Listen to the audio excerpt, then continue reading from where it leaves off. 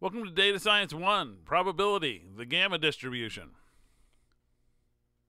So some things we're going to need to remember. We're going to need to remember the sample space, random variable, cumulative distribution function, sort of, probability density function, and the exponential distribution. So we're going to be waiting again. If you remember in the last video, we were looking at the exponential distribution, and we were waiting for our first occurrence to occur uh, of a Bernoulli outcome. Well, what if we wanted to have more than just a single outcome that we were interested in? So, for example, uh, bus maintenance or some other maintenance schedules, you often have to go in for service after so many uh, specific uh, trips. It's not a matter of time because if it was time, you could be in the middle of a trip. So they make it uh, uh, after so many trips. All right. So suppose the inspection schedule for a bus is every 10th trip. And they just bring it in, look it over, check it out. And the average length of a trip is five hours. What would the distribution look like this? Well, if we think about it, it should be very, very low probability that it will take zero hours, unlike the exponential. Remember, we have to make 10 trips, okay? Uh, very low probability that it will take an extremely long time. We're pretty sure the bus is going to come back at some point. Uh, more than likely, it's going to take, or longer trips are going to be more common than shorter trips. Uh, so one actually has to complete the trip, and that's why you can only complete a trip so fast. So here's what the probability density function looks like, and you stare at that and you go, Oh, where'd you get that one from? So, anyway, there's lots of ways that you come up with this. So, if you stare at this a little bit, you can see the exponential hiding in there. You can see this piece here is part of the exponential, and you can also see you have a beta and a 1 over beta hiding in here. And it turns out if alpha is equal to 1, this thing falls right into being a uh, exponential distribution. All right, so what's this gamma thing here? Well, this is the gamma function, uh, and that's where the name of the distribution comes from. Here, both alpha and beta are parameters of this distribution. If alpha is a positive integer, then this gamma of alpha is just alpha minus 1 factorial. Easy to calculate, might be a big number, but it's easy to calculate. Uh, otherwise, it's this integral.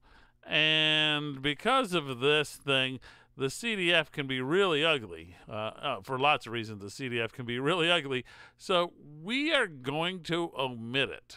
Um, we're just using computer instead. Okay, but we can find other things. Uh, under our formulation here, uh, if we have a gamma, alpha, beta, this is how it would be written, x is distributed gamma, alpha, beta, then the mean uh, is given by this, and the variance is given by this. So the mean is alpha, beta, and the variance is alpha, beta squared. Super easy to deal with. All right, let's look at an example. Cricket's a very high scoring game with players staying at bat a considerable amount of time. For each inning, there will be uh, overall 10 ba- batsmen must be dismissed for the inning to be over. Suppose that each batsman on the team are independent and it takes the time for them to be dismissed around 13.2 minutes. Okay, what is the expected length of play for an inning for one team? So notice that we have to see 10 of these things occur. It's more than just one, and it's absolutely clear if they're out or not. So here alpha equals 10, real easy to pick out because it's the number of times we're going to do this uh, or we're looking for. Ooh, boy, this sounds sort of like a negative binomial geometric relationship here. So it's like an exponential is more like a geometric, and negative binomial is like this gamma because we're looking for a specific number of outcomes before our experiment is over. Okay, so this corresponds to the number of batsmen that needs to be dismissed. Similar to the exponential distribution here, we can come up with beta equals 13.2. Now, if we use this information here, we're going to get that on average, it will take alpha times beta 132 minutes to get all these batsmen out. And that would make sense, right? 10 people on average, 13.2 comes out about 132 minutes. Okay, but now we can use this to come up with probability. Okay, so suppose we're interested in the probability that an inning takes longer than 180 minutes. So this is what we're interested in. The probability x is greater than 180. Uh, let's see, a CDF goes the other direction. So if I do 1 minus this, here's the CDF. I can work with the CDF, which I can get a hold of. This might be harder to get a hold of. So since we're doing this complement trick, this allows us to be able to calculate this. So I have 1 minus f of 180, and then I have dot, dot, dot. Mr. Computer here is going to give me this number 0.8722. So it's going to be 1 minus 0.8722 is going to give me 0.1278, which is our probability. So there's a 12% probability that the ending will take longer than 180 minutes. So it's not going to be real common to run that long if this was the situation. Okay? So, how to use a computer for this? Well, if you're using R, which is a free software that we've been using in other videos in this module, you can use the P gamma function. Plug in 180, plug in 10, plug in 1 over 13.2. Their formulation is a little bit different.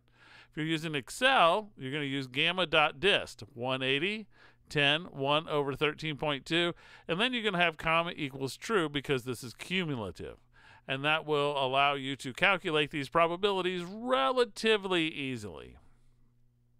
Okay, so here's the uh, summary of what we've done. Here's our PDF. CDF, we're just saying it's too ugly. We're going to use a computer. Uh, mean and variance, easy. Alpha, beta.